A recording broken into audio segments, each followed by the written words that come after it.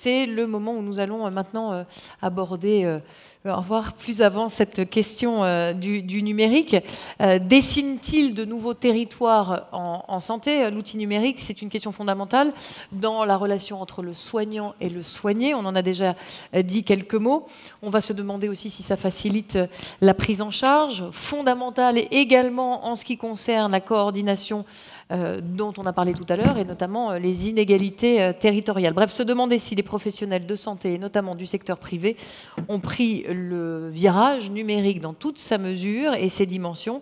Et pour aborder ces questions, je vous propose d'accueillir Catherine Cerizet. Elle est cofondatrice de Patients and Web.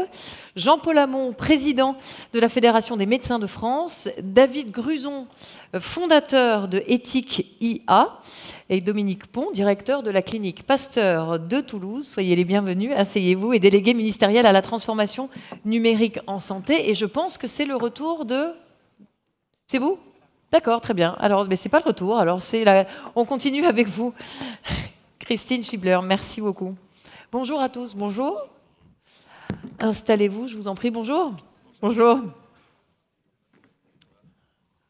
Honneur aux femmes, qu'est-ce que vous en dites Catherine Cerizet. Donc vous êtes cofondatrice de Patients and Web, j'ai bien dit parce que je suis allée regarder partout, je ne savais pas si c'était en français, bah, c'est les deux, en, anglais. Donc on peut dire aussi patient et web. Oui, absolument. alors très bien. Vous, vous êtes ce qu'on appelle une euh, e-patiente. Je ne sais pas si vous avez envie d'évoquer euh, ici votre parcours euh, personnel de, santé. vous êtes particulièrement engagée sur les enjeux de santé. Pourquoi avoir créé Patients and Web À quelle demande spécifique souhaitiez-vous répondre, Catherine Cerizet? Euh, alors bonjour à tous. Je voudrais euh, particulièrement euh, remercier Monsieur Garbi de m'avoir convié à ces rencontres.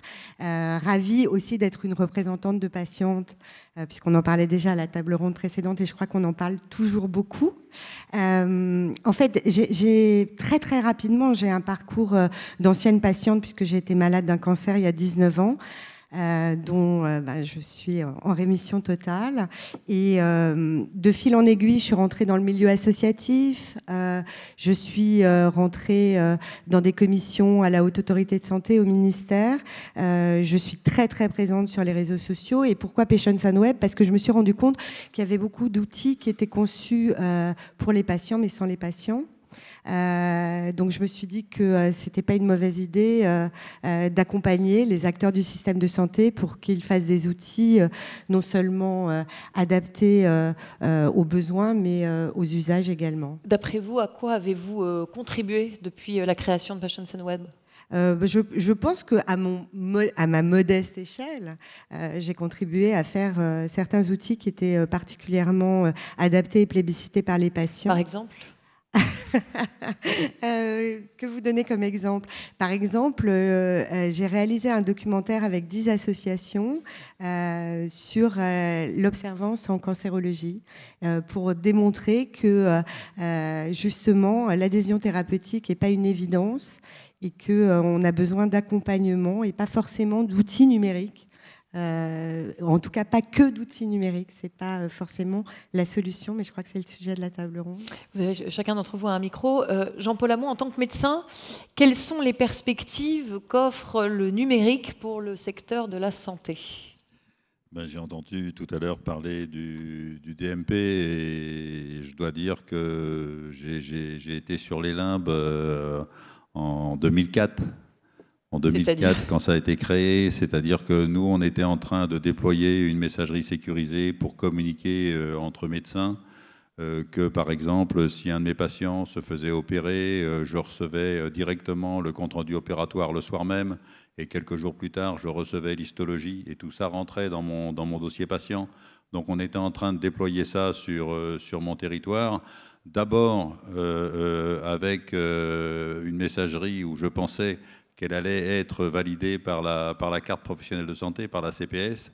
Et je me suis rendu compte que ben, les informaticiens euh, n'étaient pas toujours euh, honnêtes et nous avaient annoncé une messagerie qui fonctionnait, euh, garantie par la CPS, à la fois sur Mac et sur PC, parce qu'il ne faut pas oublier qu'en 2002, c'était ça, on en était là. Et, et en fait, on nous avait annoncé des choses fausses, et donc je m'étais replié pour déployer AppyCrypt. Et pour, déployer une autre messagerie sécurisée qui a été menée par des libéraux et, et, qui est utilisée maintenant par 75 000 médecins et qui est utilisée maintenant par les hôpitaux. Et qui fonctionne. Et qui fonctionne. Et qui fonctionne. Et j'en étais en 2004 euh, à déployer euh, un, un, serveur qui, qui permettait de, de, déposer les volets de synthèse. Vous savez, ce qui permet de sécuriser la prise en charge du patient. Euh, sur le volet de synthèse figurent euh, les, antécédents, l'identité du patient, les antécédents, euh, le traitement en cours, une ligne de vaccination.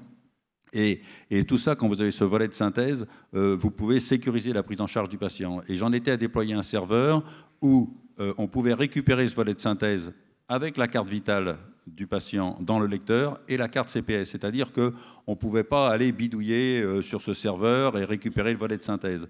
Et, j'en étais là quand le DMP est arrivé, et donc on nous a inventé le DMP, et vous avez vu tout ce qu'on a dépensé, tout ce qu'on continue de dépenser, et, et, le DMP actuellement, malheureusement, on fait de la publicité euh, à l'arrière des bus, on fait de la publicité à la télé, et j'ai ouvert des DMP et j'ai mis des volets de synthèse. J'ai déposé des fibroscopies, des coloscopies, des, des, résultats d'hôpital de jour, des résultats de biologie. Et en fait, tout ça, ce n'est pas indexé. C'est-à-dire qu'on pense à faire de la publicité, on paye des gens pour ouvrir des DMP, mais il n'y a aucune indexation.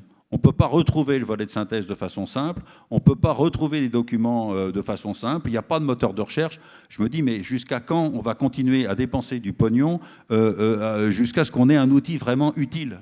À la sécurisation de la prise en charge du patient. Quand vous avez un patient qui, quand, que vous prenez en charge un patient, euh, la première chose que vous cherchez, c'est son volet de synthèse. Vous voulez savoir s'il a des allergies, quel traitement en cours, qu'est-ce qu'il a comme antécédent, si ses vaccinations sont à jour. C'est quand même simple. 15 ans plus tard, et quelques centaines de millions plus tard, ça ne marche pas et ça énerve un peu. Alors, ça tombe très bien. Bonjour, Dominique Pont d'être avec nous. Et bonjour Marie. Euh, vous pilotez euh, la feuille de route numérique du ministère des Solidarités et de la Santé. La ministre Agnès Buzyn était euh, justement aux rencontres de la FHP hier après-midi. Là, on entend plusieurs choses. D'abord, il y a l'outil, sa précision, euh, ses fonctionnalités et son fonctionnement global. Et il y a aussi, moi, ce que j'entends, la coordination. Qu'est-ce que vous pouvez répondre euh, à Jean-Paul Hamon qui représente les médecins euh, ici? Bah, euh, Que je suis d'accord avec lui. Donc que... ça va marcher? Non, non, non, c'est pas ça que j'ai dit. Non. Que je suis d'accord avec lui. Je suis depuis 15 ans sur le terrain, les mains dans le cambouis du numérique en santé, et c'est un bordel incroyable. C'est clair. C'est un bazar incroyable. Mais pourquoi c'est un bazar incroyable? C'est un bazar incroyable parce qu'on ne s'est pas mis d'accord collectivement, comme d'habitude en France, sur une vision commune. Donc chacun râle de son côté, chacun, c'est une sorte de mouvement brownien. Les médecins, les startups, les éditeurs, les professionnels de santé, les hôpitaux. On part tous dans des directions, euh, chacun en râlant parce qu'il n'y a pas quelque chose de collectif, mais on ne s'est pas mis d'accord sur une vision commune. Moi, ce que je trouve qui craint vraiment, c'est ça. Donc, ce qu'on propose, nous, c'est de dire, ah bon, ok, le DMP, je suis d'accord, c'est pas apaisé, c'est pas suffisamment structuré, ça date d'une architecture de 2004 qui n'était pas prévue pour ce genre de truc. AppyCrypt, ils ont joué euh, leur, leur coup perso et c'est pas une messagerie non plus interopérable avec d'autres messageries. Donc, on est comme d'habitude en France, on intellectualise dans les salons sur les tables rondes, mais se mettre d'accord collectivement sur une vision commune et partagée, on l'a pas. Nous, ce qu'on propose, c'est de dire, en gros, il faut gouverner le numérique en santé, en gros comme on gouverne une ville. Dans une ville, les pouvoirs publics, ils font quoi? Le code d'urbanisme, et ils le font respecter. Délivrer le permis de construire, ils le font respecter. Ils supervisent les routes, les ponts, le tout à l'égout, l'électricité, mais ils ne font pas de maisons individuelles et de buildings. C'est l'écosystème qui développe les maisons et les buildings. Et en revanche, l'écosystème, hein, le, le, promoteur, il ne va pas faire sa centrale nucléaire ou sa station d'épuration. Il n'a pas le droit. Le numérique en santé depuis 20 ans, c'est l'inverse.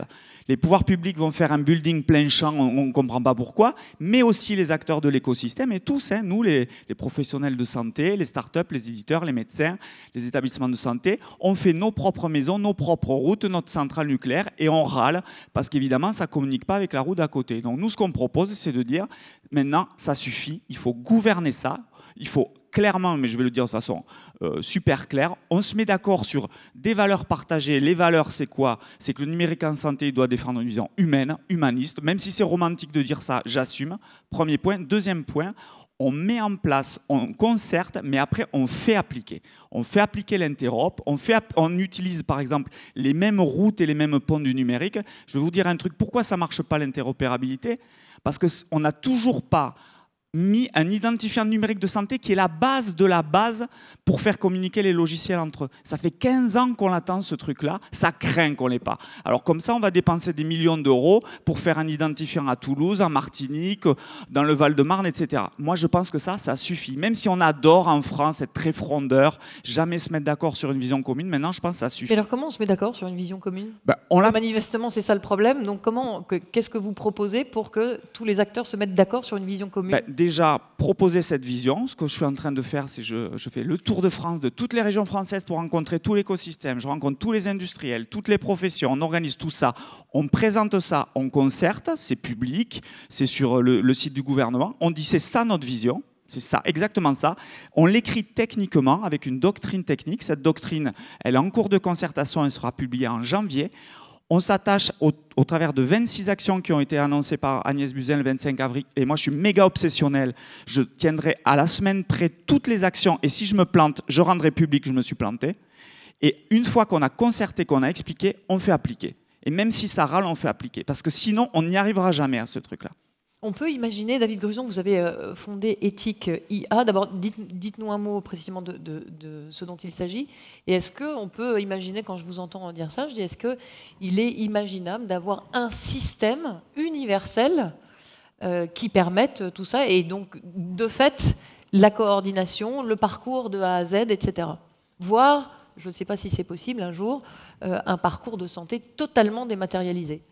En, fait, Etikia, c'est un vecteur qui avait été, euh, qui a été initié dans le, il, y a, presque trois ans, au moment où on a commencé les travaux de préparation de la révision de la loi de bioéthique, sur mhm. le volet euh, éthique du numérique et de l'intelligence artificielle, pour partager en fait une idée simple qui est maintenant euh, reprise dans le, qui a été reprise par le, Comité constitutionnel d'éthique, mais aussi qui est un peu aussi dans le message que, porte Dominique Pont et qu'il faut entendre c'est que le problème éthique principal du numérique, euh, le problème éthique, c'est qu'il n'y en a pas assez. Le premier problème, avant d'arriver sur les questions intrinsèques. Je, vous donne deux exemples de, ça très concrets, un dans le champ médical, un autre dans le, euh, dans, le champ administratif. Sur la partie médicale, vous avez déjà aujourd'hui des, algorithmes d'aide au diagnostic mmh. précis, opérationnel, dans le champ euh, du diagnostic de, pathologies à spectre large, la rétinopathie du diabète, le cancer du sein, le diagnostic automatique des mammographies. Ce ne serait pas éthique de bloquer l'accès à ces solutions. Pour, aller vers ça, il y a des préalables, euh, et c'est euh, ce que, ce que Dominique a bien posé, définir une, une architecture commune de systèmes d'information, des règles communes de collecte des données de santé, c'est une des ambitions du Health Data Hub, la plateforme qui se, qui, se met en place. C'est pour ça aussi qu'il faut euh, aller, euh, et que, Jean-Paul a raison d'alimenter le, DMP, parce qu'il euh, faut le faire réussir. Il n'y a, pas d'autre choix que de le faire réussir, parce que c'est une norme qui existe dans d'autres pays. Et puis, un exemple administratif, pour que vous compreniez là où on en est. On a fait le calcul du nombre de factures que produisaient les établissements de santé. Euh, et chaque ça va être euh, spectaculaire. Chaque année, ça correspond à 200 millions de feuilles de papier. Et quand vous prenez 200 millions de feuilles de papier, imaginez, vous les, je les pose là sur ma table, euh, en fait, ça fait une pile de 21,2 km. Ça nous emmène en fait dans la magnétosphère, exactement de là où, Félix Baumgartner a fait son saut, vous savez, il y a, quelques années.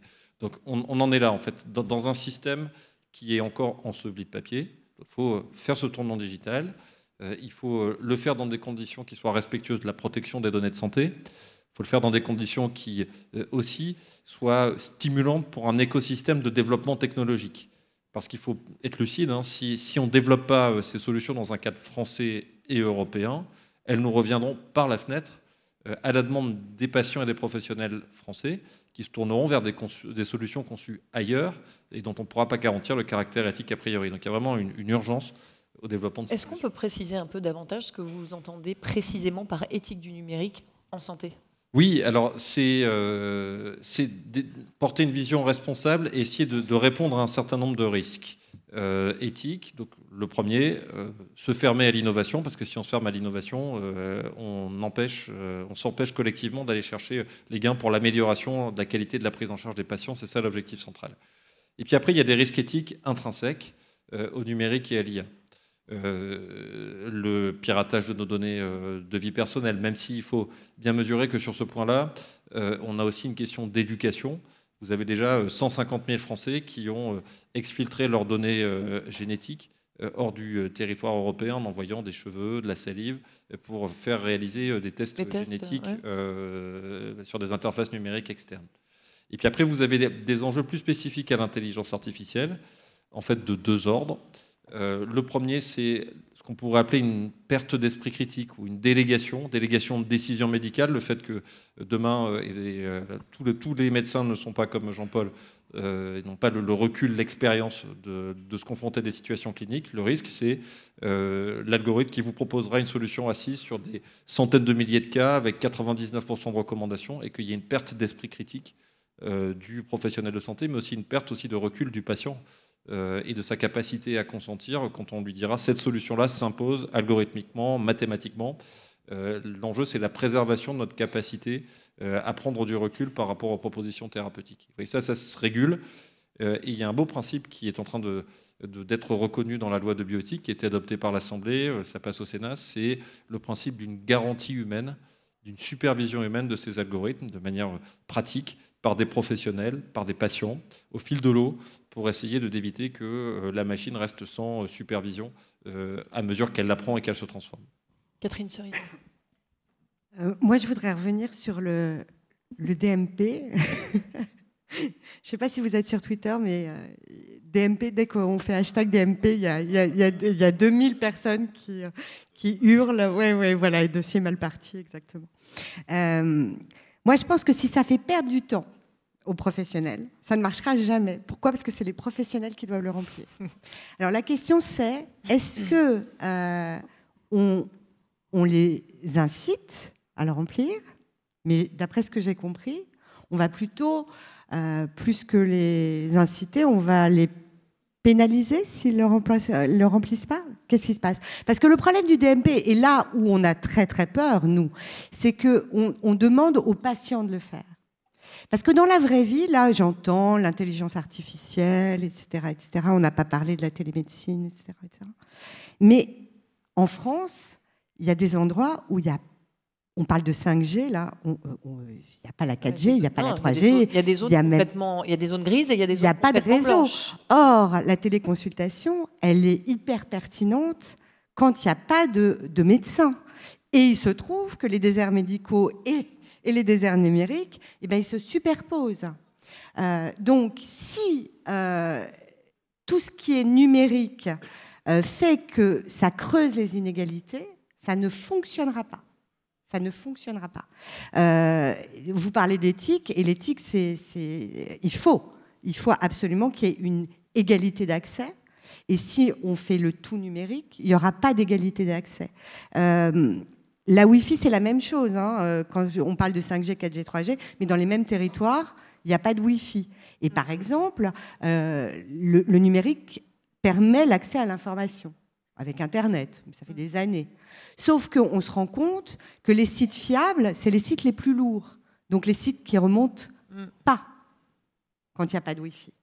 Donc là encore, ça creuse, ça creuse les inégalités. on peut ajouter aussi euh, l'accès à l'emploi. Dans ces zones-là, les, jeunes ont un mal fou à trouver des emplois parce que justement, il n'y a pas Internet, etc. Il n'y a pas de réseau sur les téléphones portables. Enfin, c'est... Euh, ah, ah, absolument. Et puis la dernière chose que je voudrais ajouter, c'est que euh, j'ai entendu une concertation de tous les acteurs. Tous les acteurs, c'est évidemment avec les patients et les représentants de patients, parce que a priori, on est à fond pour le DMP, mais vraiment, parce que c'est c'est une super belle idée sur le papier. C'est une super belle idée qui va faire gagner du temps à terme, à long terme, qui va faire gagner de l'argent euh, et qui va permettre aux, patients, oui, oui, ça sûrement, et, qui va permettre aux patients de faire moins euh, d'examens, etc., etc., euh, redondants pour l'instant. Alors sur les inégalités, Jean-Paul Hamon et Dominique Pont ensuite. Oui, mais sur, le, sur les TMP, vous avez raison, et sur les, inégalités territoriales, moi je défile de temps en temps avec ma pancarte un métier d'avenir, euh, médecin, postier, instituteur pour non ou moine. Hein.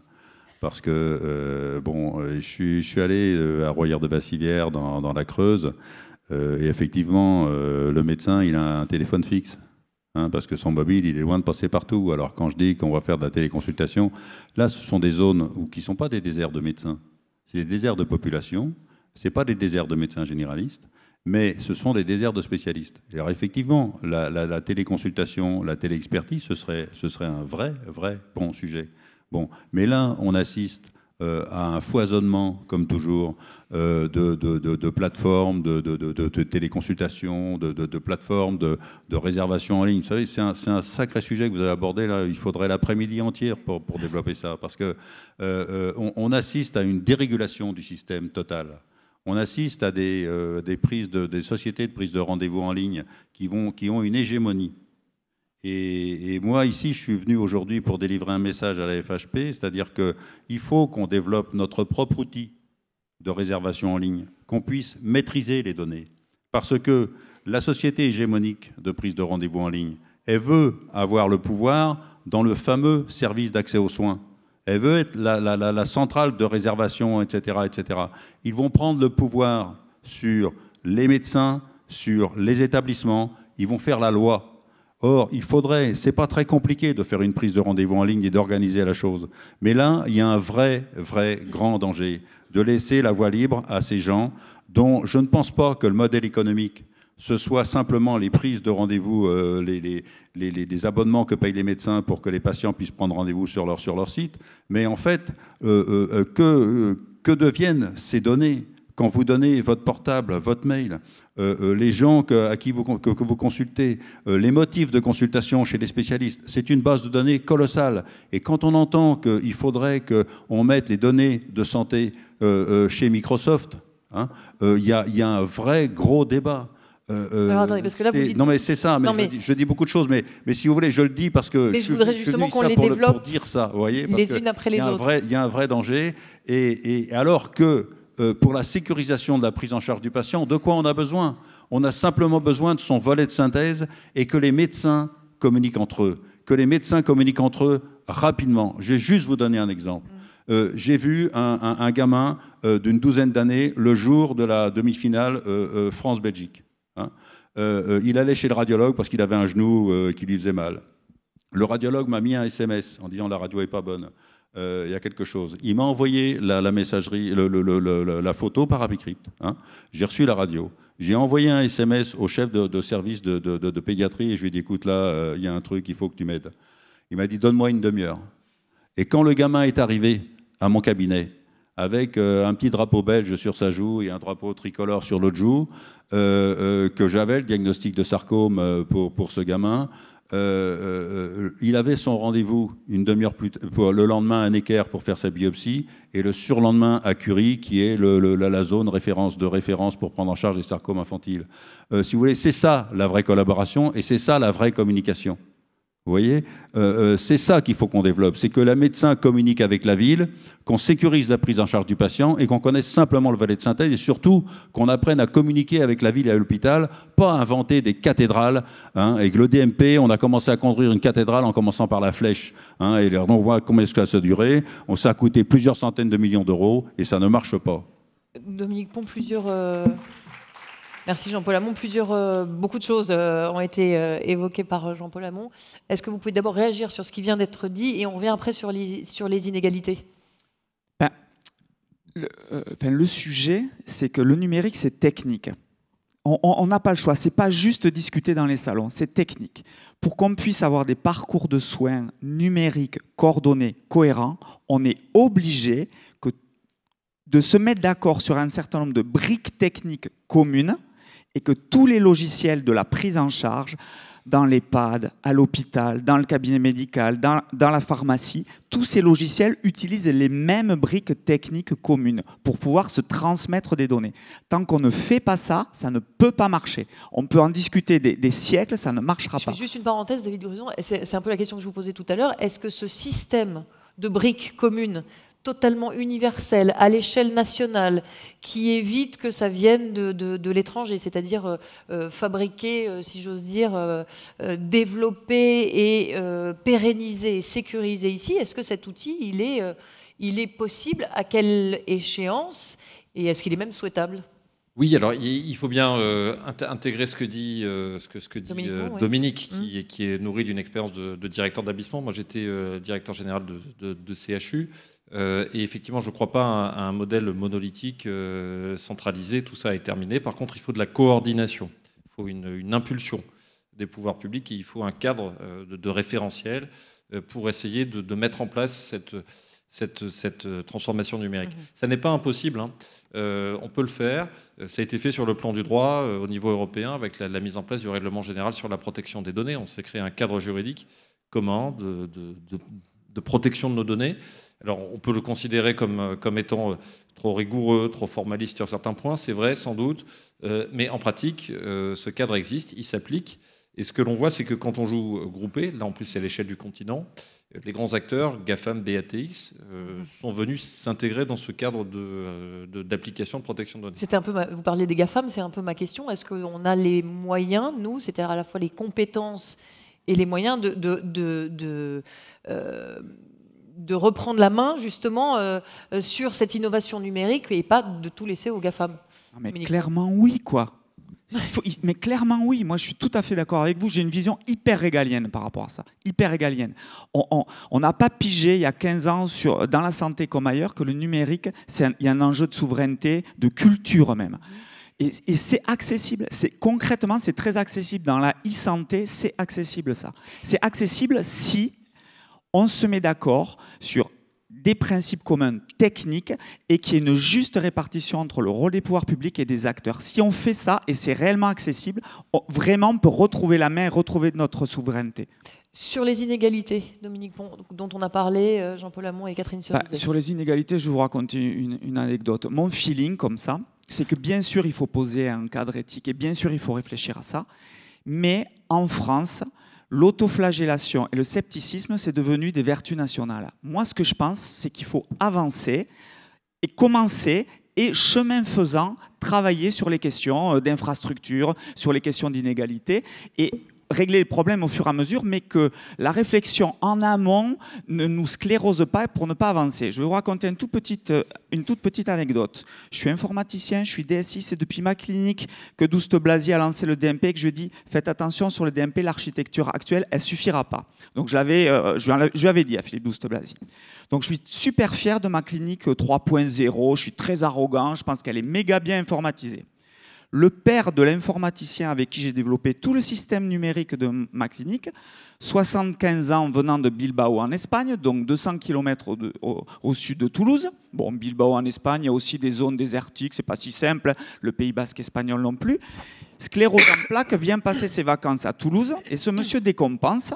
Il doit être hospitalisé en urgence dans ma clinique et le monsieur, il arrive avec le smartphone, il me dit ben voilà mes antécédents médicaux, euh, voilà mon ordonnance, voilà mon pilule virtuel, voilà mon diabète, je vous donne un code provisoire pour me soigner. Et il vient me dire à moi, en gros, la France, c'est le tiers-monde numérique. Et pourtant, là-bas, il y a des zones mal couvertes. Et pourtant, là-bas aussi, il y a des difficultés et il y a des fragilités sociales. Sauf qu'à un moment donné, eux, contrairement à nous, ils se sont dit, bon, ok, arrêtons de tchatcher, commençons par faire. Et moi, je pense que c'est vraiment ça qui nous manque en France, avoir la culture du faire, et ensuite régler les problèmes au fur et à mesure, le pragmatisme, quoi. Jean-Paul Amont. Mais, en, 2004, en 2004, quand on était réunis euh, au Sheraton ou au Hilton à Roissy, là, j'ai vu euh, qui à l'époque, je ne savais pas ce qu'il était, il allait devenir directeur du DMP ensuite. Il, dit, il se lève et il dit Mais il faut dire Douste Blasier est arrivé. Il dit Il faut dire au ministre que nous ne sommes pas prêts. Et je lui dis Mais nom de Dieu, on est prêts. On est prêts si vous organisez un séminaire de 48 heures avec des mecs comme moi qui sont capables de cliquer sur le mulot, hein, qui savent ce qu'ils veulent, qui savent ce qu'ils veulent pour prendre en charge ces patients, mais qui savent pas démonter leur ordinateur, pas avec des pros de l'informatique, quoi, des mecs qui pensent que l'informatique peut être un outil. Je dis, vous réunissez ces mecs-là avec tous les éditeurs de logiciels métiers existants, et vous leur dites, voilà, qu'est-ce que vous voulez, vous, les utilisateurs? Et, et après, vous dites, voilà, vous dites aux éditeurs, vous avez des mises à jour, vous les faites pour que ça fonctionne. Et ces mises à jour-là, vous les mettez à disposition gratuitement des médecins et des établissements pour qu'ils puissent communiquer entre eux. Ce séminaire-là n'a jamais eu lieu. Jamais. Hein? Là, on continue de glander, etc. Pourquoi Apicrip s'est développé? Quand j'ai rencontré Marisol Touraine hein, au début de son ministère, je lui ai dit, mais euh, on est 35 000 utilisateurs d'ApiCrypt. Les gens d'ApiCrypt qui m'ont jamais menti, et reconnaissez que c'est pas une qualité, c'est une qualité rare chez les informaticiens. Hein. Euh, ils m'ont oh jamais menti. Ils m'ont jamais menti. Ne tweetez pas. Et, ils m'ont dit, et ils m'ont dit, on serait capable de déployer cette messagerie France entière pour tous les professionnels de santé, établissements, pour moins de 24 millions d'euros en six mois. Marisol Touraine.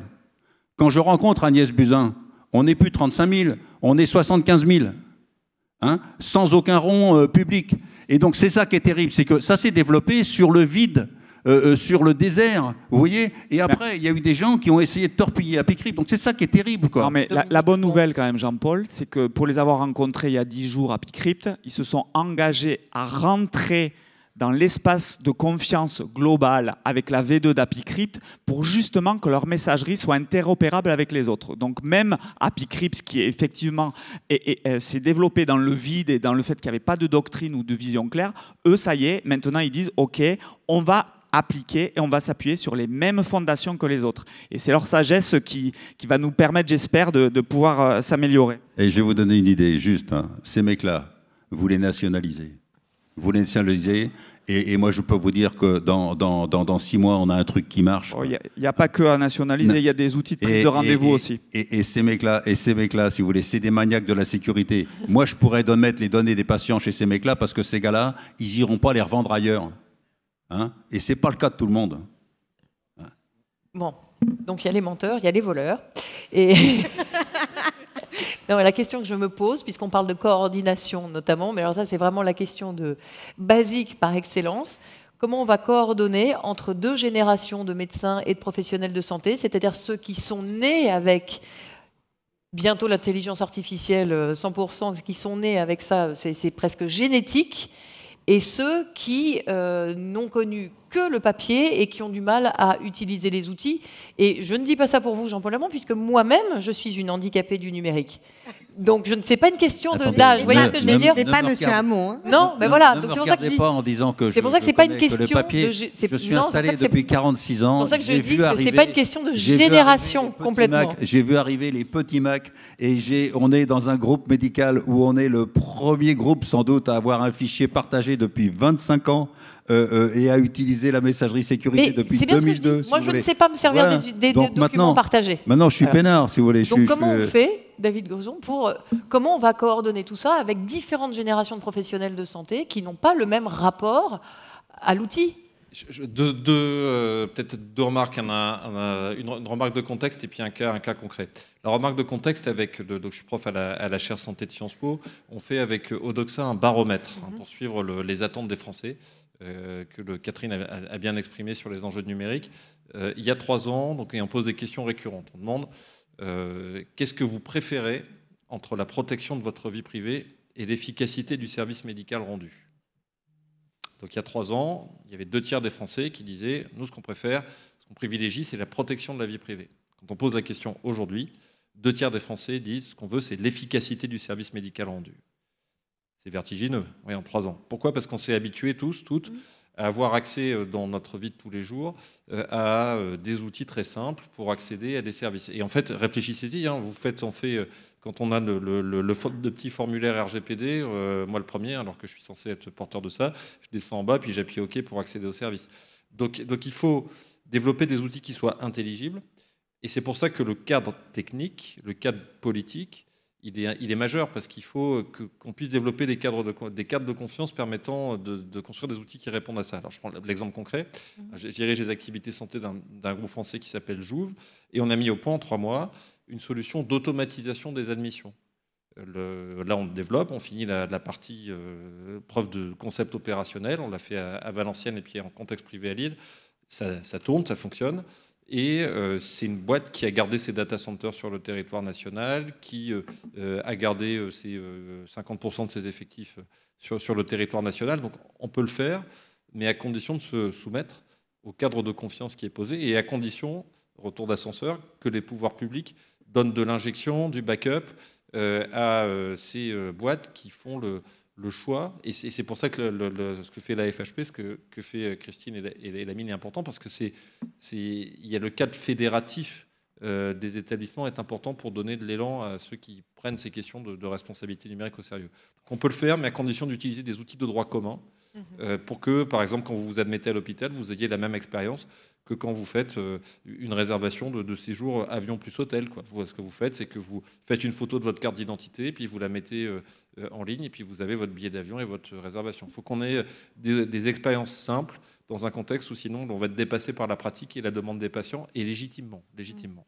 Catherine euh, pour, pour, revenir à, la problématique des, professionnels et de, du, gap, euh, euh, du, du, gap entre les, les, les personnes de différentes générations et, et, les, et, les, jeunes étudiants qui sortent de la fac, moi je donne des cours à la faculté de Paris 13 auprès de médecins jeunes internes en médecine générale. Ils ont une vie pro et une vie perso très très divisée, les jeunes. C'est-à-dire que pour la vie perso, ils sont sur Facebook, sur Instagram, euh, sur, euh, etc. Mais pour la vie pro, ils veulent pas. C'est pas la même chose. Donc, je pense pas qu'il y ait un gap générationnel. En revanche, euh, il y aura probablement plus un, problème de littératie numérique au niveau des patients, parce que parce que y a un rapport professionnel-patient. Donc, si les professionnels se mettent au numérique, il faut que les patients s'y mettent, ou l'inverse on est un peu plus en avance, les patients, je pense, que les professionnels. Mais, mais quoi qu'il en soit, il faut, il faut euh, faire monter les gens en compétences. Et ça ne me semble pas euh, complètement fou de faire monter les gens en compétences euh, au niveau du, numérique. Christine Schibler. Surtout quand on a fait Bac plus 10. oui, Marie, j'avais une question plutôt pour Dominique. Euh, tout à l'heure, vous avez cité euh, l'exemple d'utilisation des smartphones en Espagne. Et donc, je voulais savoir un peu, euh, comme on est dans un espace qui, qui, dont les frontières se décalent, avec des jeunes générations qui sont extrêmement mobiles sur l'Europe, mais même sur le reste du monde.